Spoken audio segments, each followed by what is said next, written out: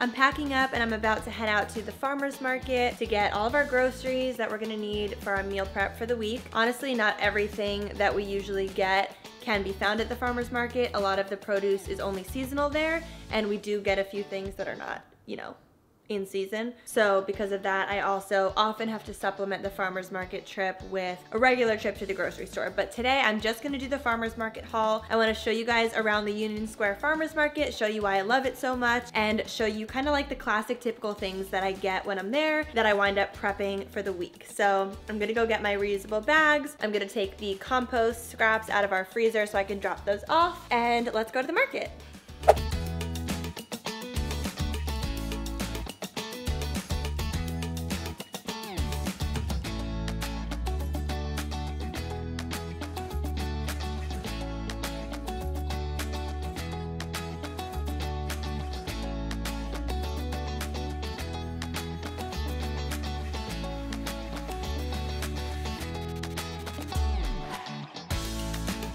Okay, so I made it to the farmer's market, but I realized a few things. So number one, it's a Monday right now. I never come to the market on Mondays. I'm always here on the weekends, and I didn't realize how sparse and empty it was gonna look on a Monday.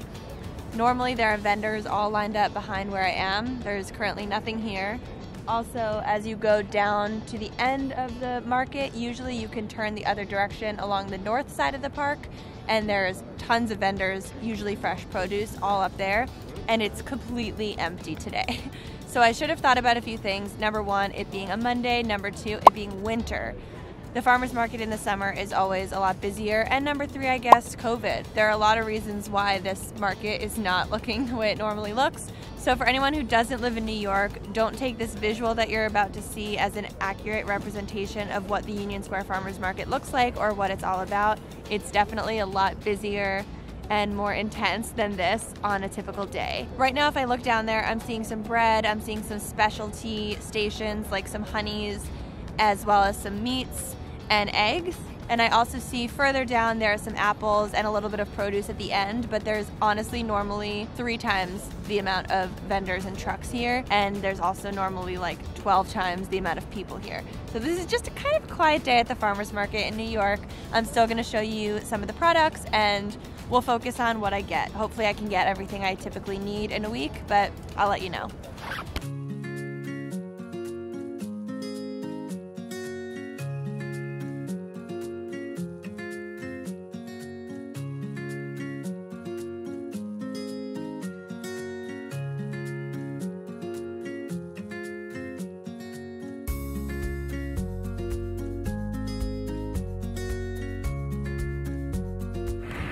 Farm? Uh, the farm is located in Lafayette, New Jersey, which is about 40 minutes outside of the city to the northwest.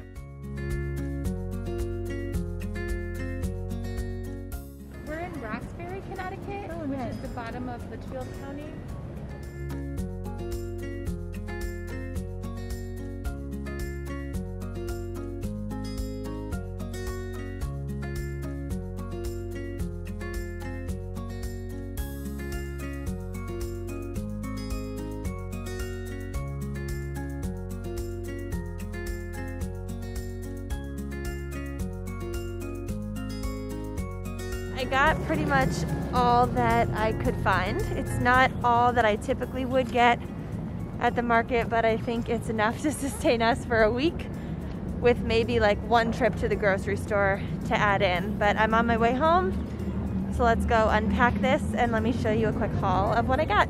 The one thing that I'm kind of sad that wasn't there that's my favorite stall is the dried flower stall. So I'm gonna do some Googling and find out what the name of the company is and I'll pop it up here. But they make the most gorgeous dried flower bundles and every time I'm at the market I can't resist. So I would highly recommend checking that out.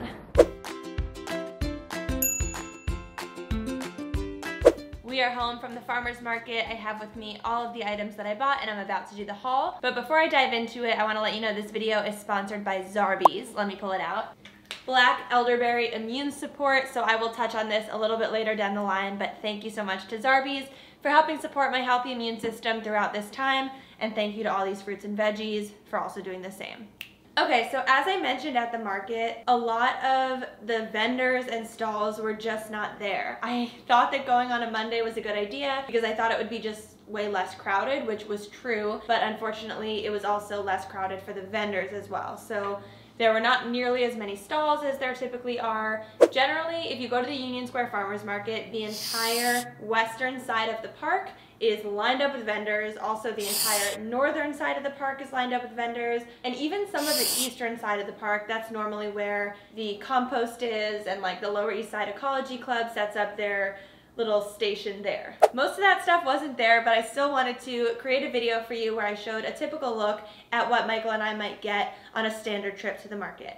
And generally we try to get as much of our produce as possible from the farmer's market. It's all local, organic for the most part, you know, very affordable and it comes naked, like they don't put it in any bags if you tell them that you've brought your own bags. So we really love that, but often stuff is not in season and we do eat fruits and vegetables that are not necessarily in season at the time, so we have to go to the grocery store to supplement and get a few things. But everything here was available today at the market, so let me just walk you through what I got. Starting with this spinach bundle. So many of you have seen me get bundles like this at the farmer's market before. Often it's a lot bigger and it looks like it's so much spinach, but as soon as you start cleaning the leaves and laying it out, you realize that spinach shrinks down when you cook it. So something like this could honestly be like one dinner's worth of spinach. I'm gonna put all the stuff behind me when I'm done. I got a couple root vegetables, so I love getting things like parsnips, and they often look really ugly, like this is like an octopus parsnip, but I'm really excited to cook with this. So I got two. These days at the farmer's market, you can't touch and pick up items unless you know, it's already in your bag. So instead they just ask you what size you want or you can like point and then they'll take that one. And so I always like to pick the bizarre looking fruits and vegetables because I kind of know no one else is going to pick them and I feel really bad for them. But also I think they're really funny. So I got this octo parsnip. Really cute. And this one and more root vegetables. I got a bunch of carrots. This time, because most of the fruit and vegetable vendors weren't there like normal, I think I got three. Where's the third? Where's my carrot? We'll find it. But anyway, because the normal vendors weren't there, I actually had to get the carrots like this. Whereas typically at the farmer's market, you will find bundles of carrots that have luscious green, you know, greens flowing off the top. And I really do like getting those. I, I don't know why. I like getting them in a bundle and I like when they come with the greenery on top. Usually the person working there will ask if you want to remove the greenery and they can compost it for you right there, which I do to save space in my fridge. But today they only had these loose ones and I was pretty sure I got three, but I am not able to, I found it. Michael and I don't really roast carrots. We mostly use this in things like juices, and so I like to get the big, thick ones if I can because it makes for more juice. Carrots. All right, quick break to talk about the sponsor of today's video, Zarbee's. As you can tell from my haul so far, I get a lot of healthy fruits and vegetables at the farmer's market. I'm always doing my best to try to support a healthy immune system at home. I also incorporate a lot of other healthy habits and practices throughout the day to try to keep my immune system supported. It is obviously a very tough time right now with COVID and people being really worried about getting sick. And so I just think the best thing everyone can do all around is try to support their own immune systems at home. There are so many different ways that I do this. Obviously fresh fruits and vegetables, and what I'm incorporating into my diet is very important. I also make sure I'm staying hydrated. I drink a lot of water. I focus a lot on healthy fats, so I often will buy avocados at the grocery store. Those are not in season at our farmer's market, so I get that kind of stuff at the grocery store and I have smoothies with avocados and coconut oil. I'm always trying to incorporate healthy fats that way. And if ever I find a supplement that is helpful at just kind of keeping my immune system intact and just keeping things as positive as possible, I love it. I first heard about Zarbee's from my friend who lives in California and I ran out to try it on my own. This is a highly concentrated elderberry syrup. It's loaded up with real elderberry, vitamin C, and zinc. There's no artificial flavors, no alcohols, no gluten, perfect for me. So here's what I do. I just shake it up I pour it onto a teaspoon and I'll take two teaspoons in a day. I don't use it every single day just because I don't use anything every single day and I often forget to take supplements, but when I just remember this, I try to keep it in a place in my cabinet where I see it whenever I'm going to get honey or tea. And whenever I remember it, I'll just pop it on the spoon and take it like a supplement. And on days when my energy is a little bit lower, then I'll take it every four to six hours for the entire day. If you're interested in immune support, I would highly recommend you try this. So I'll put a link down below if you wanna try it. And thank you so much to Zarbee's for sponsoring our video. Onions. So I went with red today. We sort of alternate between using red or white or yellow onions, but I got three big juicy red onions. So this is very exciting. This one looks like it still has like the little top piece on it, which is kind of cool. And I am gonna make an entire video sharing sort of how we meal prep this food and other food. So I'm not gonna work on that with this batch of food, but the next time I do a grocery shop, I will make that video for you. And typically what we do with onions is we will just like take the edges off and chop this into cubes, put it in a glass jar and have it like prepped in the fridge raw. That way when we're cooking, we can either just like throw the raw onion on the skillet and saute it, pop it in the oven and bake it, but it's already pre-prepped and pre-chopped. I love to save time like that so that when it comes time to cook, I don't have to do any of the prep of peeling and chopping, but I can just like throw stuff on the pan. And then I got a few sweet potatoes. One thing I love about the farmer's market and when you get, you know, produce is it's usually completely imperfect to the point where if someone saw it on the grocery store shelf, they might not buy it. In fact, grocery stores might not even stock it because it looks so weird. So just an example, these potatoes have like some strange indents on them. These lines going down the middle that make them look really funny. And this one has a few holes in it, like it looks weird. But you realize, you know, when you go to the farmer's market, these farms are small family local farms. They're not using pesticides. There are so many signs around the farmer's market that say pesticide free, organic, and then for the meats, hormone free, antibiotic free, free range.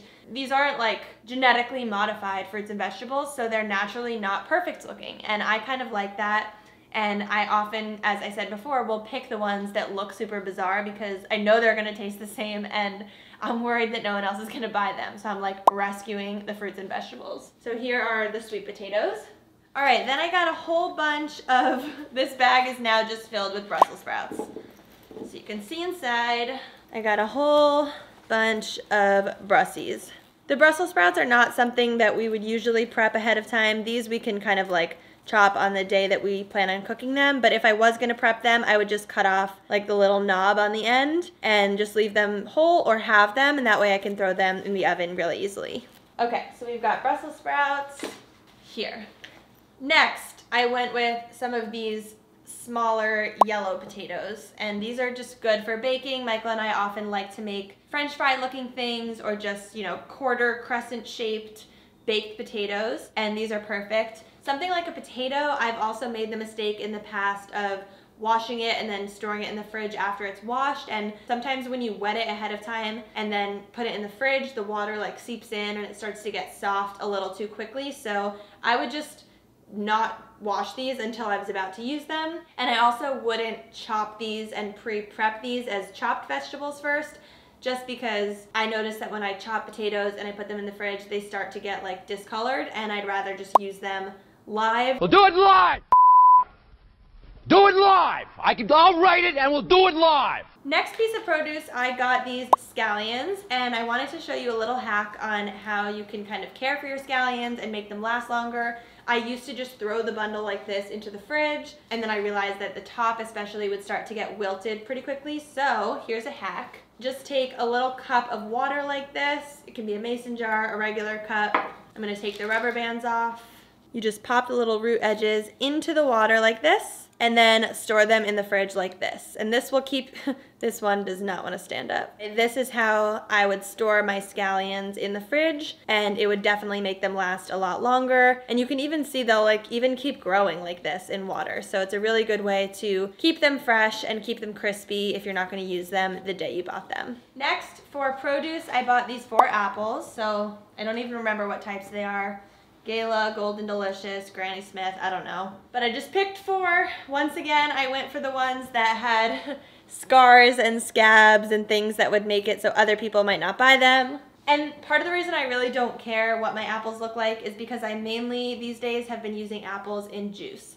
So I've been taking my juicer, I've been taking carrots, celery, lemon, ginger, apple, and cucumber, and just making like a really nice, it ends up being orange, juice. And I really just don't care what the apples look like. I wash them, I cut them, and I just put them right through the juicer, and it doesn't matter if they had a scar or a scab. So Got four apples today. The next thing I'm pretty excited about is this honeycomb. This is a new purchase for me. I've never bought it before. This entire thing was $10, so this definitely made my entire shop at the farmer's market a little bit more expensive. But this is honeycomb from Andrew's Honey. And as I was shopping today, I decided to chat with Andrew. He was standing there and I asked him a few questions about his honey. So let me pop that in. This is Andrew. Hello. Of Andrew's Honey. Yes. Do you keep the bees yourself? I do, yeah. I keep bees. My father does. His mother did. Her father did. It's been in the family a long time. Are you covered in stings or they love you? Uh, they love me, but they show their love by stinging me. What's the difference between all the different colors and like types? Is it different bees or? Not different bees, uh, different types of flowers. So for example, uh, if the bees pollinate uh, buckwheat uh-huh. flower, -huh. the nectar will be nice and dark and the honey resulting from that will be very dark. Whereas linden honey will be light and the tastes are very different. Uh, this is heavy, dark, and molassesy. This is light with a little mint and citrus. Here are produced on rooftops in New York City. We have beehives all over town, wow. on buildings and community gardens, etc., etc. And then what uh, about this? You just pull this right out of the hive? Yep, this is the hive itself actually, so I just cut it out. And people can chew it like gum, cut it up, put it on a cheese platter. It's amazing. I think I'll take this. You deserve it. I definitely plan on doing a video for you where I go join Andrew on a New York City rooftop and I learn how to be a beekeeper and harvest honey. So stay tuned for that video in the future. We already chatted, we exchanged social media information, so I will be doing that video soon. Last three items here. So number one are these cheese curds. I have never had these either, but I typically do get some type of cheese. Oftentimes it's a goat cheese or just a cheddar cheese, something that's local and that I know is gonna be a high quality cheese. I asked the woman who was working at the stall what cheese she recommended and she suggested the cheese curds. And I was like, I've never heard of a cheese curd, what is that? And she said it's kind of like cheese in its infancy stage. So like before it goes through the whole process, this is it like early on. So I'm gonna try it and we'll see how it is. This whole thing was $6. And I'm not like a huge cheese eater, so this is probably gonna last me for like a couple weeks. Let's see. Doesn't have much of a smell. Very mild. Oh my gosh. It's squeaking. But wow. Oh wow. Mmm. Mmm. Okay, I thought it was gonna taste like hard Parmesan, like it looks like, you know, hard cheese that you would find on a charcuterie board, but it's really soft, almost like a rubbery texture in a weird way. And it's really salty and really tasty, and that is good. Okay, this is good. Everyone try a cheese curd.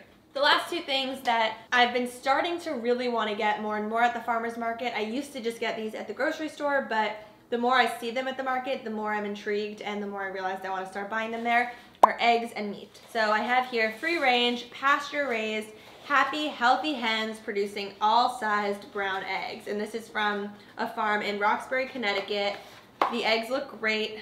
I of course checked them before buying them to make sure there were no cracks. But I haven't cracked these yet, but I can tell you just from the source, from where they're from, this is the name of the farm, Ox Hollow. I can tell you with certainty that these eggs are going to be orange, not yellow. And if I've ever learned anything about eggs, it's that the more orange the yolk is, the better the egg is. You know, the more nutrient dense it is, the better the chicken's health was. And typically these days I've been having two eggs for breakfast. Sometimes I don't have an egg, but I really like eggs. So two dozen eggs for us is probably good for a couple weeks.